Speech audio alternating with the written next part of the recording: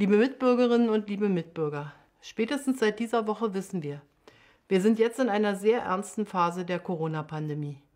Tag für Tag steigt die Zahl der Neuinfektionen sprunghaft. Die Pandemie breitet sich wieder rapide aus, schneller noch als zu Beginn vor mehr als einem halben Jahr. Der vergleichsweise entspannte Sommer ist vorbei, jetzt stehen uns schwierige Monate bevor. Wie der Winter wird, wie unser Weihnachten wird, das entscheidet sich in diesen kommenden Tagen und Wochen. Das entscheiden wir alle durch unser Handeln. Ich möchte Ihnen sagen, was das nach meiner Überzeugung bedeutet.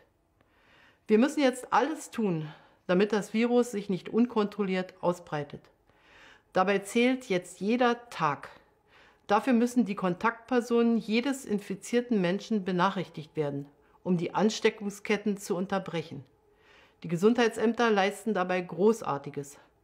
Aber wo die Zahl der Infizierten zu hoch wird, da kommen sie nicht mehr hinterher. Was kann jede und jeder von uns also dazu beitragen, dass die Zahlen wieder heruntergehen? Sehr viel. Das allermeiste schon einfach dadurch, dass jede und jeder Einzelne konsequent den Mindestabstand wahrt, den Mund-Nasenschutz trägt, die Hygieneregeln einhält. Aber wir müssen jetzt noch weitergehen. Die Wissenschaft sagt uns klar, die Ausbreitung des Virus hängt direkt an der Zahl der Kontakte, der Begegnungen, die jeder von uns hat.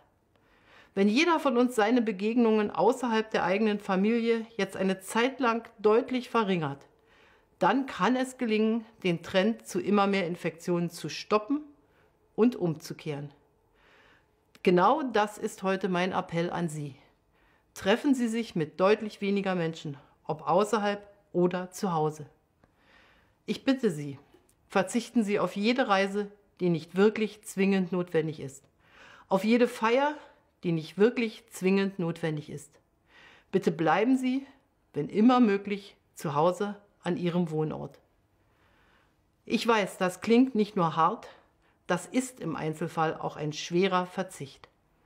Aber wir müssen ihn nur zeitweilig leisten und wir leisten ihn letztlich für uns selbst, für die eigene Gesundheit und die all derer, denen wir eine Erkrankung ersparen können. Dafür, dass unser Gesundheitswesen nicht überfordert wird, dass die Schulen und Kitas unserer Kinder geöffnet bleiben, für unsere Wirtschaft und unsere Arbeitsplätze. Was hat uns denn so vergleichsweise gut durch das erste halbe Jahr der Pandemie gebracht? Dass wir zusammengestanden und die Regeln eingehalten haben, aus Rücksicht und Vernunft. Das ist das wirksamste Mittel, das wir zurzeit gegen die Pandemie haben.